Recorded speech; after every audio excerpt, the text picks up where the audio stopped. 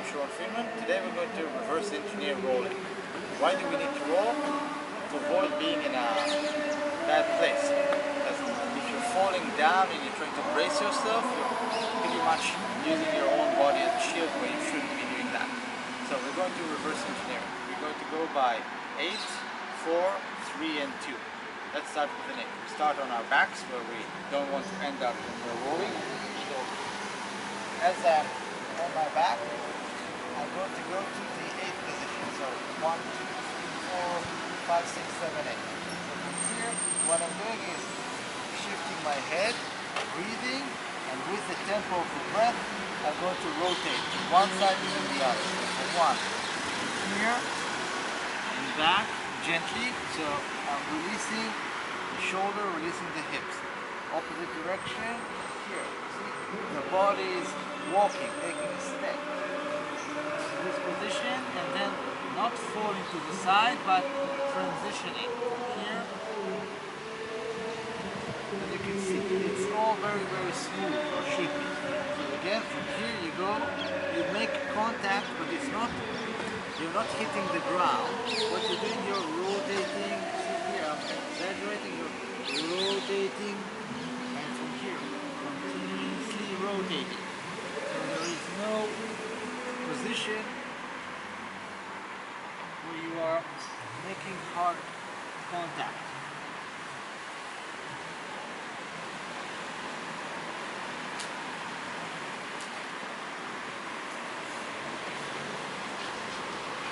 Good.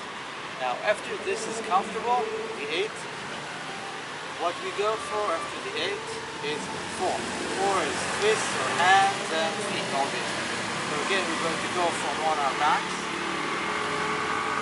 Here. And what I'm going to do is to rotate myself to find my feet and with my hands or fists the ground. Here I'm moving my head, making contact, and going to four. Again, from here I'm going down through the eight. So from here I'm not dropping. I'm never going to just go and hit the ground because the ground will hit me back. What I am going to do is to rotate with it. Rotate, roll along the ground. So from here, from this position, now relaxing.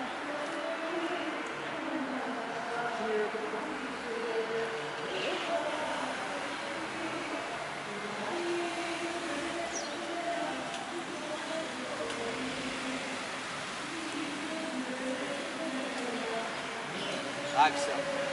That should be, after you've practiced the eight, that should be also simple. But make sure that in everything that you do, it's not about position, but about transition. From, uh, from one position, from here, this is not important. Important is how you move from one to the other. So from here, I'm re- releasing myself, releasing myself, and going from one to the other. It's not about staying in one place. Most of the time when we are taught to fall, if we are taught to fall, it goes by going from standing to on the ground, breaking the fall or somehow. That will just get you injured, especially if it's not a smooth surface. So make sure that you're all about transitioning and not staying in one place. Next is the three. Simple. We go from on our backs to three. And we alternate one, two, three, four. So I'm going to leave this one in the air. So if this one's in the air, it's going to be the guide. So from here, this is guiding it. From here, I'm on the three. Going back. Now, this will be the guide, so I'm now this will be the guide. So this will be the guide. Again. The important bit here is to learn to channel your direction through the eyes, meaning that where your eyes are headed, that's where your body will be going. And second is to learn to channel your direction. For example, you're at night, you're going down a staircase, you don't want to you know, you don't want to go down the staircase, so you navigate yourself through your limbs, through your eyes, to where you should be going. Good. So, uh, I'll do the four and three once again. Here's the three. Right. The rest of the body follows the line. So from here, it goes, it goes back. And you can see the body relaxes to the ground smoothly. Next, from here, here,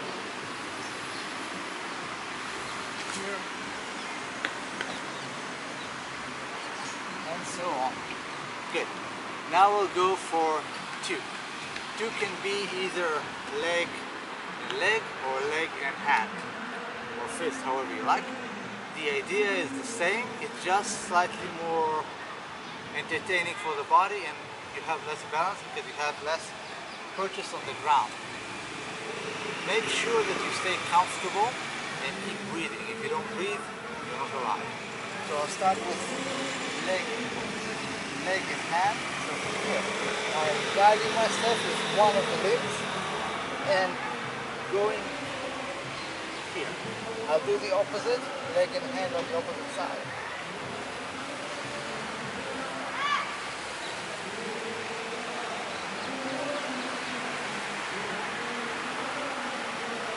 like so. Now I'm going to go just hands. Now this is a bit more uh, engaging the muscular system, but it's not necessary, you don't have to do it. So from here I'm going to do to roll.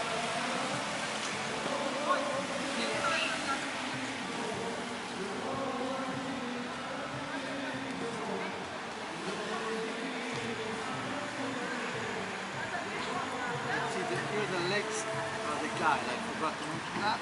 So they are moving and purchasing with your hands and from here again purchase with your hand.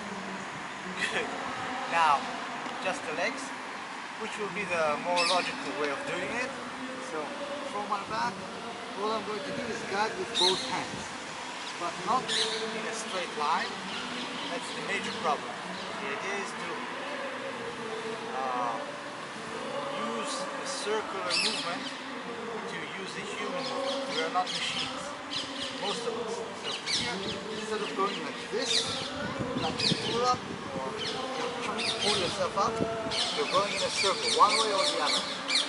So from here, eyes, body, I'm going to the side, see here, going to the side.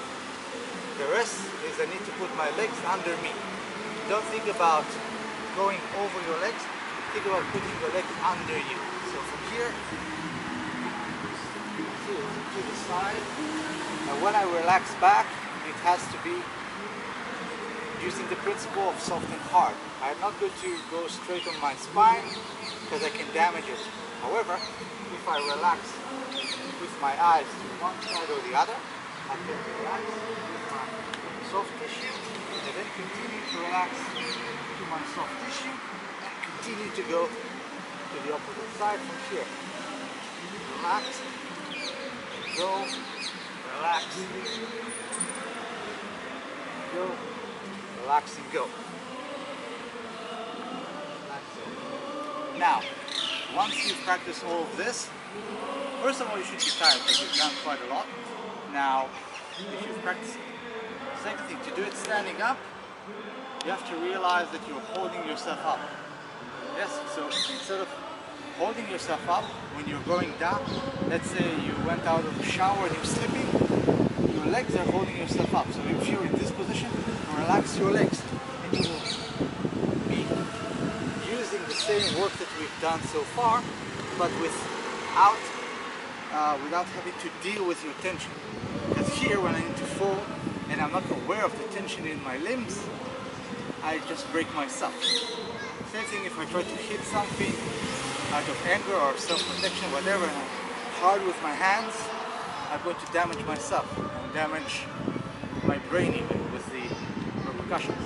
However, if I'm sending it and I'm relaxing with my entire body, then hitting and rolling, everything will be the same, the same principle. So I'll show a little bit of leg relaxation. The easiest way to do uh, something wrong is to tell something to do something right. That doesn't sound right, but it is. So if you tell someone to relax, they're going to tense up because to try to look where, where are they tense. Instead, what you, what you want to do is to tense up and then let go. And then you have both switches, on and off, yin and yang, and so on. So from here, I tense, I let go, I tense, I let go, I tense, I let go. And I'm using the same principles.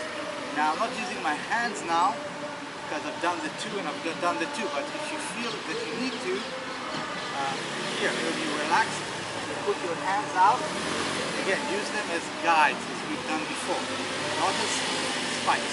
Because these spikes are going to hit you with the same force that you're hitting the earth. That's not so much fun unless you're into it. So from here, when you make contact with the ground, same as you relax your legs, you relax your hand. Unless uh, you're carrying a baby and you're holding it, then you just sacrifice your own well-being. So from here, contact, relaxation, and you've got it done. Alright? I'm again Shimon Friedman. That has not changed during this video. Thank you and be well.